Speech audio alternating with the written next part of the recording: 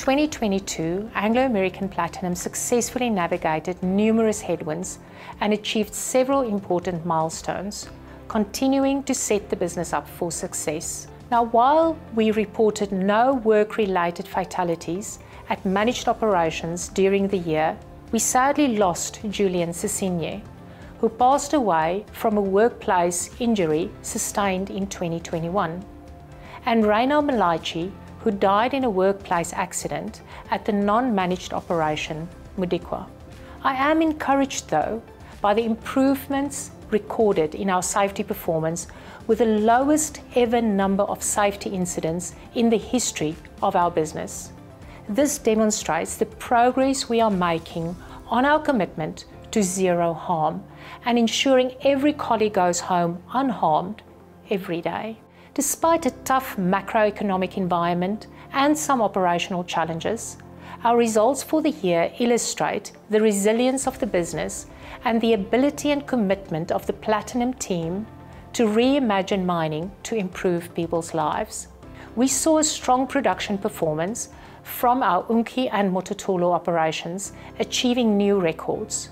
Output was lower at Amandelbult due to planned infrastructure closures, while lower ore grade at Mogalakwena impacted its production in the year. Third-party producers also delivered lower volumes, and this brought our total metal in concentrate production to 4 million PGM ounces for the year.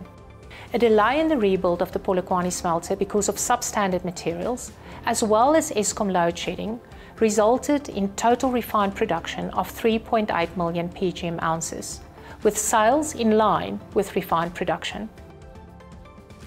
Our EBITDA was 74 billion rand, driven in part by the second highest rand basket price on record. As seen globally, however, our profitability was impacted by above-inflation cost increases in utilities and consumables. Return on capital employed remained strong at 111%. From this base, we have provided industry-leading returns to our shareholders with a total dividend of 30 billion rand or 115 rand per share declared for 2022.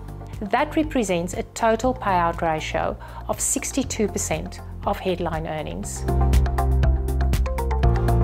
Our contribution to society totaled 131 billion rand for the year, including 19 billion rand paid in taxes and royalties, 17 billion rand on capital investment, and 15 billion rand in salaries and wages.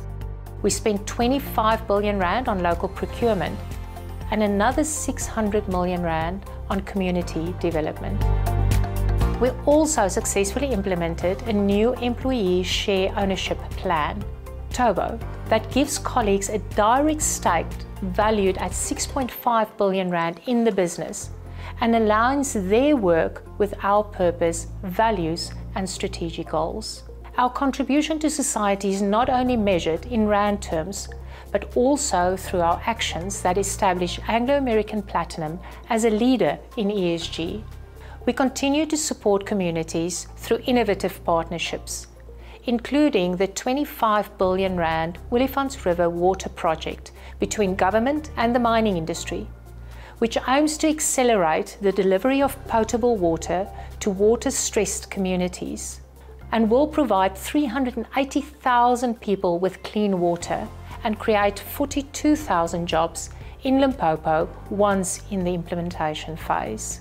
We published our first annual climate change report highlighting the progress we're making to meet our 2040 carbon neutrality targets. The Initiative for Responsible Mining Assurance, or IRMA, remains critical for us allowing for independent assurance of our operations to meet very strict ESG criteria. We are on track to have all of our operations IRMA verified by 2025. From the point of view of sustainability, we also continue to develop the market for hydrogen energy products, launching the world's first hydrogen-powered mine haul truck in May last year. The nuGen truck, which is currently being trialled at Mogalakwena, is but one example of the work we are doing to decarbonise our operations and develop new applications for our metals. Looking ahead, we expect metal in concentrate and refined production to be between 3.6 and 4 million ounces, while unit cost is forecasted to be 16,800 Rand and 17,800 Rand per PGM ounce. Our capital expenditure of between 22 and 23 billion Rand is expected, which includes stay-in business capital of between 10 and 11 billion Rand and future growth investments of 4.4 billion Rand. Market fundamentals for our metals remain robust. Our business decisions are guided by our commitment to generate strong returns and meet our strategic objectives, and we continue our work on improving operational performance and drive cost efficiencies across our portfolio. These results demonstrate our commitment to safe, responsible and profitable production and are made possible by the incredible work done by our Platinum team. We look forward to delivering further value to all of our stakeholders in 2023 from this great business.